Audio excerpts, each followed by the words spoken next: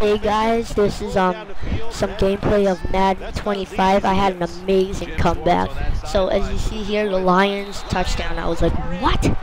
What type of retarded is that? But now we got the Patriots. I gained possession, and um, yep, touchdown. And now got possession again after um, the Lions. They didn't get anything, and dive into the end zone for another touchdown. And I'm pretty sure I'm going to win this, but look at this. Right there. Another dive. I don't know why I keep diving. But at the end, we are really close to the end zone. And baboom, touchdown for the win.